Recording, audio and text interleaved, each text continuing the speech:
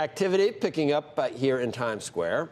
Across the city, people are returning to restaurants, stores, uh, and parks. The city's hotels, uh, which were hard hit by the pandemic, are also starting to recover.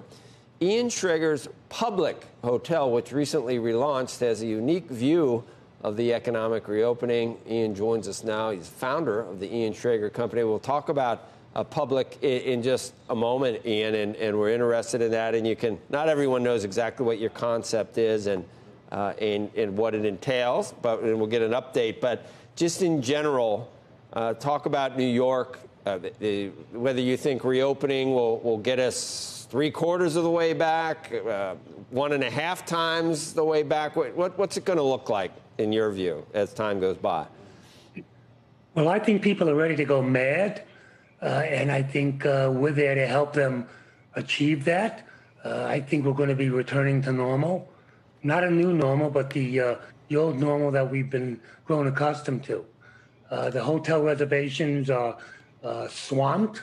I think uh, the restaurants and the bars in New York will return faster because those are really geared towards the people who already live here.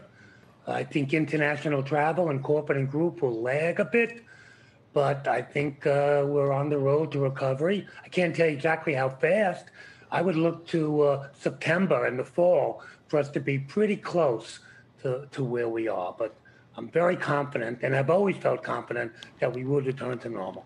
Can you find workers? Have you had to pay more? What, can you comment on that, that entire situation and, and what's causing it and, and whether it, it, it fixes itself near term? Well, it, it's very difficult. Uh, the the uh, labor market uh, is very constricted. I think with all the government benefits that everyone has been receiving, people would rather stay home and do nothing rather than go to work. Uh, I think uh, that eventually will change once the benefits uh, diminish.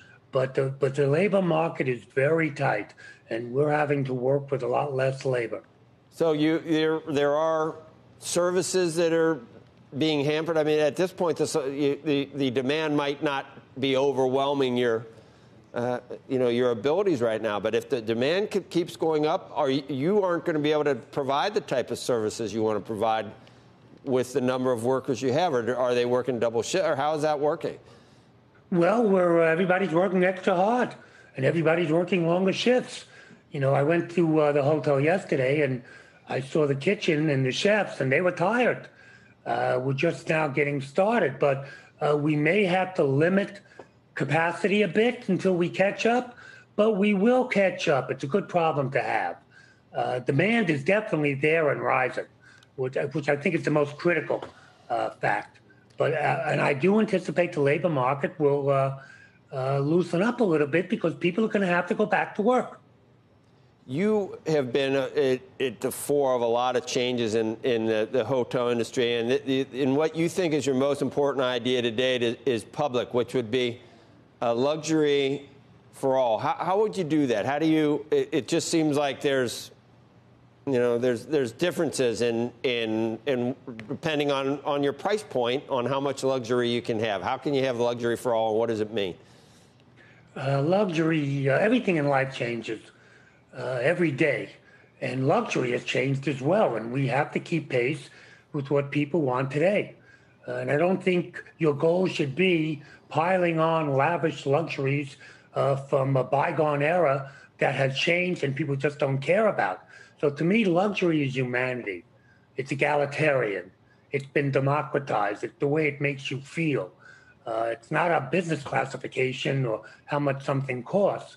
Uh, and I think uh, we have to recognize that. Uh, and I think everybody and anybody is entitled to luxury and entitled to feel good and entitled to get a sense of freedom and liberation by where they're staying, by treated nicely and made to feel good and and uh, by very, very friendly, caring people, uh, the kind of people we all hope to marry someday. Uh, and so the idea is to instill that in your staff and, and to really make luxury, luxury that matters, uh, available to everyone. And I just think it's uh, probably the most important idea I ever had uh, because it makes luxury and sophistication and all things that come with that accessible to everyone. Well, it's egalitarian. It's just completely suitable for the times today.